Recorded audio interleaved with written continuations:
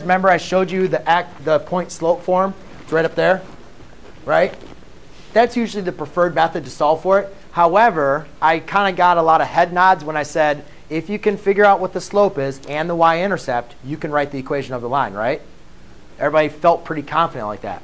So now I given the slope, but now I'm not given the y-intercept. But is there a way to solve for it? Well, let's think about it. Remember, we have y equals mx plus b.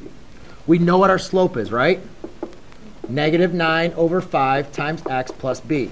We need to just figure out what our y-intercept is. Well, what's the, if they gave us y-intercept, we would just plug it in, we'd be done, right? But they don't give us the y-intercept. What they do is they give us the point.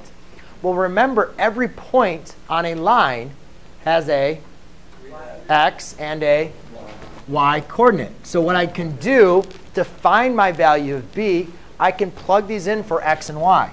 So negative 2 equals negative 9 fifths times 5 plus b. Now remember, practice multiplying your fractions. Those are going to divide to 1, so you have negative 2 equals negative 9 plus b. S solve for b, and now what you get is positive 7 equals b. So now I know my slope, which is negative 9 over 5.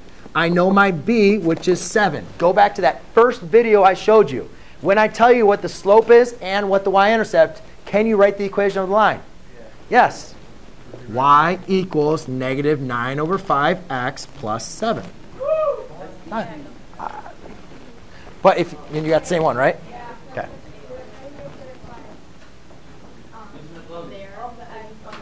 Yes.